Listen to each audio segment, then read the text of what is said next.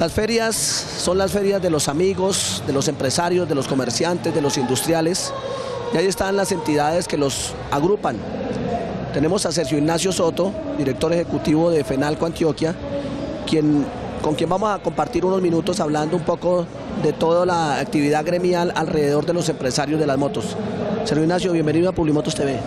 Alejandro, un verdadero gusto estar con usted y con todos los cientos de miles de personas que lo siguen permanentemente, consagrándolo como un líder indiscutiblemente de este formato tan especial de comunicaciones. Gracias.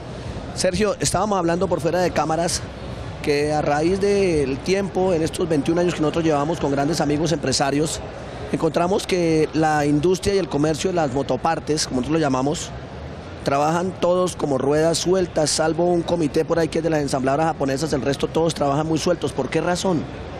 Pues hombre, yo creo que Alejandro es un tema de mentalidad, de una muy errada y confusa idiosincrasia que tienen algunos empresarios y en la cual precisamente los gremios, en especial FENALCO, la Federación Nacional de Comerciantes, que es el gremio más grande e importante de este país y particularmente aquí en Antioquia agrupamos 50 sectores de la actividad de comercio y servicios y grupos empresariales eh, buscamos es revertir esas costumbres egoístas, individualistas, que realmente no conducen a un fortalecimiento ni de la estructura empresarial ni de los sectores. Los gremios, por excelencia, y más en los países desarrollados, trabajamos es de forma asociativa, de forma colectiva, buscando competencia, colaboración y una competencia que se da, por supuesto, a veces feroz en el mercado, pero que sea competencia leal, legal, transparente. Pero hay que buscar que en un país como Colombia, donde es tan complejo, tan difícil hacer emprenderismo, hacer empresa, donde hay obstáculos de toda naturaleza, Alejandro, empezando por los tributarios, los tenemos fresquitos, una reforma tributaria injusta, antitécnica, improcedente, inoportuna, que desincentiva, desestimula la inversión del capital nacional y el extranjero, que produce inseguridad jurídica, obstáculos financieros, altas tasas de interés, dificultad para acceder al crédito formal, altas tasas de las comisiones del dinero plástico, dificultades de infraestructura que afecta profundamente la eficiencia y la competitividad, dificultades de inseguridad, de movilidad, de orden público. Bueno, paremos, para que seamos más positivos, estamos en una feria espectacular de los dos ruedas, pues lo que requiere, con lo que acabo de citar, es que el empresariado se una y trabaje gremialmente, colectivamente, asociativamente en red con los clústeres y se deje representar por los gremios,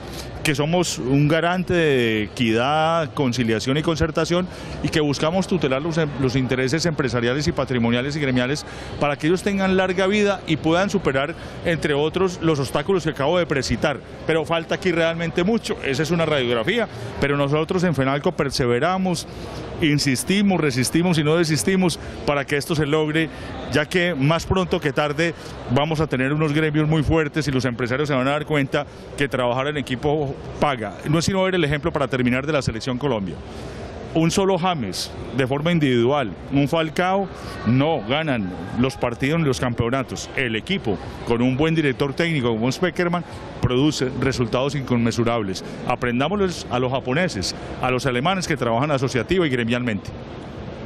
Hablando del sector industrial, más específicamente de los que fabrican las motopartes, en Colombia se ha desarrollado un grado de tecnología que ya es bastante avanzado en algunas líneas y Colombia es un exportador para ocho países de partes importantes.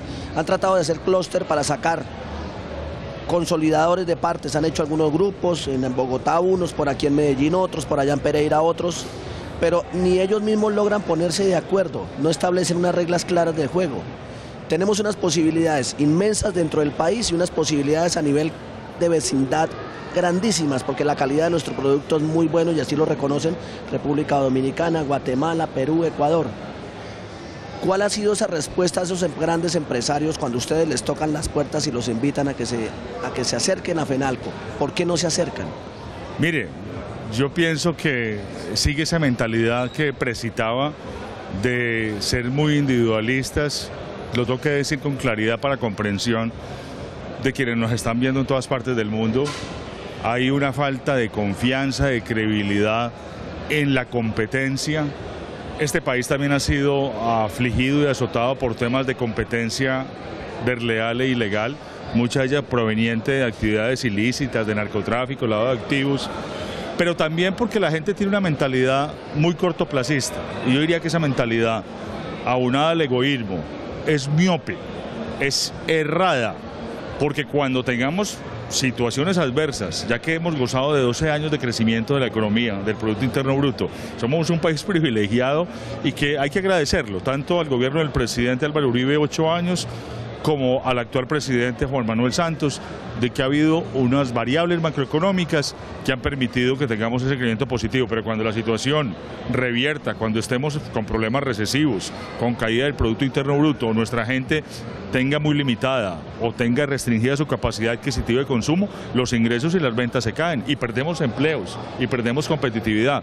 Y ahí sí vamos a buscar trabajar en equipo y buscar quién nos defiende y nos represente. Entonces yo creo que es una falta de visión, de madurez, de profesionalismo y tenemos ejemplos maravillosos. Eh, los alemanes, los japoneses trabajan en equipo. Yo tengo un ejemplo muy claro que lo hemos demostrado siempre. Un solo colombiano frente a un alemán o un japonés solitos es tan o más inteligente y productivo póngame cinco colombianos a trabajar en equipo, póngame cinco japoneses y cinco alemanes y ellos nos llevan años luz, Alejandro. Así que el tema es ese, de mentalidad y de falta de visión, falta de colegaje y falta de cooperación y competencia para que logremos ser un país realmente mucho más eh, desarrollado, con una estructura empresarial de más larga vida que pueda sortear y superar obstáculos tanto nacionales como a nivel de situaciones internacionales y mundiales, y más que estamos en una economía abierta, con suscripción de muchos tratados de libre comercio, que no hemos podido sacar partido y provecho, entre otras por esas limitaciones de no trabajar gremialmente y asociativamente. Bueno, unas palabras muy sabias. se podría resumir en dos, tres palabras pero el trabajo en equipo siempre rendirá mejores frutos. De manera individual, el camino es más largo, más tortuoso. La unión hace la fuerza. Así es. Por eso FENALCO tiene un eslogan desde hace 70 años que lo celebramos con bombos y platillos en septiembre en Cartagena, en el Congreso Nacional de Comerciantes, de ser la fuerza que une. Para ustedes, un mensaje de una persona que conoce muchísimo de lo que es la unión y no andar de manera individual en, Colombia. Para los empresarios, un mensaje de reflexión. Hay que pensar que los tiempos cambian. Alejandro, y para todos, para terminar, no hay que temerle a la competencia, sino a la propia incompetencia.